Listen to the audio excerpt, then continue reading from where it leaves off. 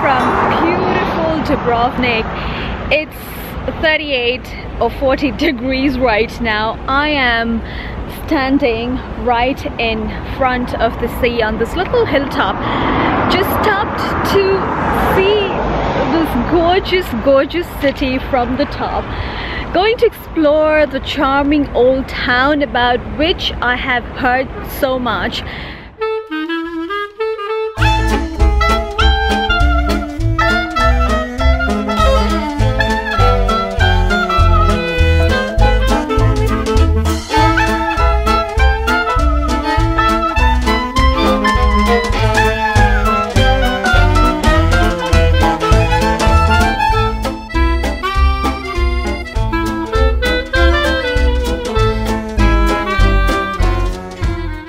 It is very charming and it doesn't have that um, that vibe of a very crowded touristy annoying kind of a place. It's got a very good vibe and inside these um, oh look that's a nice boutique over here.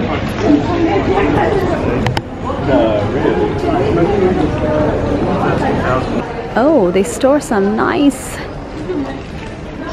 bags. It's a place called uh, Maria.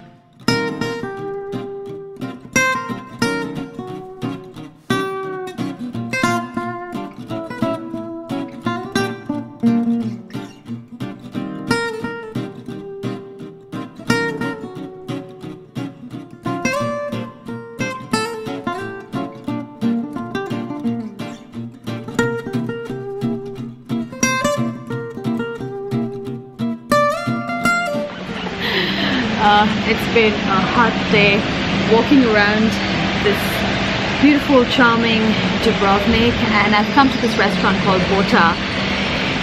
I've read some very good things about it and I didn't think it would be very difficult to get a table but I walked in for a very early dinner and they're like, oh, do you have a reservation? I'm like, no, because I didn't really think you need reservation, but they are booked out and they are booked out every day of the summer but the lady inside, the manager, she's really nice and she gave us a table for one hour and that's our oysters on these are the fresh ones. They look very different.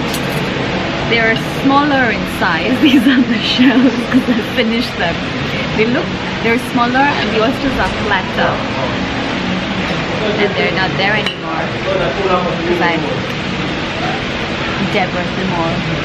These oyster tempuras are so good, so delicious. I do prefer the fresher ones more, but you know, once in a while you can have the tempura. And these ones are really nice. They're so fresh, and um, the restaurant Bota has their own farm where these are cultivated, so you know that the taste is just so authentic.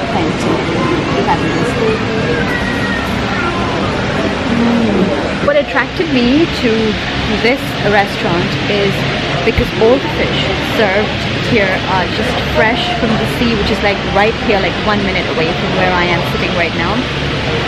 And these oysters uh, are supposed to be the best in the world. Nutritionalists around the world have tasted oysters from the Adriatic, from here, and they reckon that the oysters from the sea here are the tastiest because of the minerals and salt uh, that is there in the uh, in the Adriatic. So I'm going to just jump onto the oysters, guys. I need time to eat them, relish them, and just savor the taste. See you later!